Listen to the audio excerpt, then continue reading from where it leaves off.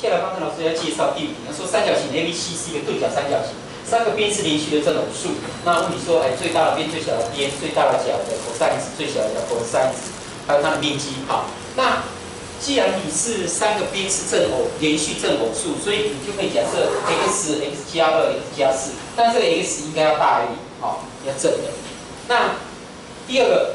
我们知道三角形任何两边会大于第三边，那当然你就用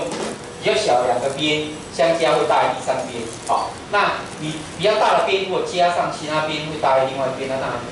一定会嘛，因为比较大的边一边就大于其他的，你再加另外一个当然大于其他的就不用讲，所以最主要是比较小的两个边相加会大于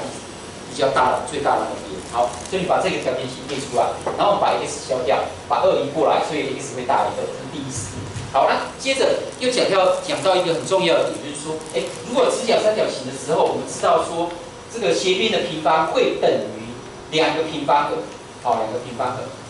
但是如果它是钝角呢？现在是钝角三角形，就是说这个角度比较大，那会怎么样呢？那角度比较大的时候，这一段就会变长，就是最大的那个边会变大。那意思就是说。你如果比较小一点，可以等于它们两个平方相加，那你又变大了，那就会大于这两个平方相加。所以钝角三角形的话，最大的边的平方会大于两个比较小的平方相加，好，会大于两个平比较小的平方相加。好，那这个把它展开，这个也展开，然后把 x 平方约掉，再把因为 x 平方在这边，把这些都移过来，八 x 移过来，所以加四 x 就变减四 x。然后加十六过来，减十六再加四就减十二。那这个可以十加成，这个用六跟二减六加二刚好是负四，所以 x 减六 x 加二相乘小于，所以 x 会介在六啊六跟负二之间，好六跟负二之间。那我们现在就有三个式子，那这三个式子都要成立，所以我们就把它联立，好是它第一个它是介在这个负二到。啊，第一个是大于二，大于二。第二个是介在负二到六之间，好。第三个上是要大于零。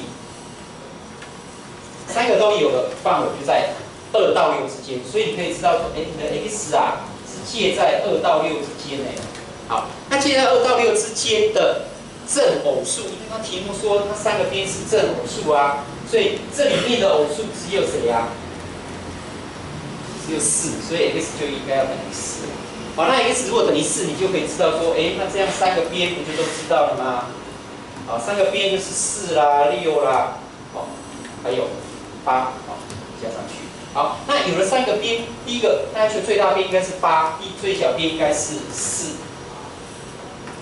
好，那最大角的 cos 值要怎么求呢？好，最大角的 cos 值当然就是看到这三个边。最大角应该对到最大边，所以它最大角 cos 值应该是以这个的对边。那这个对边它的 cos 要怎么求？就是二乘以两个比较小的边，四跟六，分之四的平方加六的平方乘加八的平方。好，那这个经过一番努力增长，生出来负的四分之一，哎，所以这个是对的。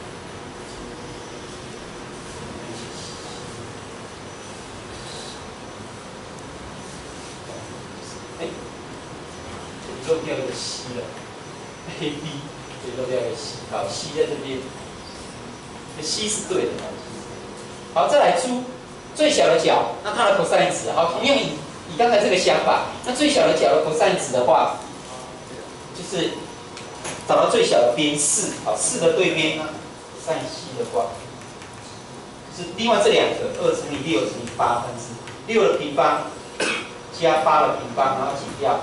四的平方，好，那这个算一算呢，是等于八分之七，好，所以这个当然也是对的，当然也是对的。好，那最后一个三角形的面积怎么算？那因为这三个边刚好都是整数，那所以你可以用海龙公式，很快就可以算出来。好，那所以一的部分，一的部分，我们可以用海龙公式。我们知道 s 呢，应该把它三个相加再除以二，加起来是十八除以二十九。所以你的面积就可以等于根号的九乘上 s 减 a 五减 b 三减 c 一，好，所以这个算出来，这个三可以出来，就是三根号十五，三根号十五，哎，这个是对的，所以我们答案就写 c 除一，看有没有？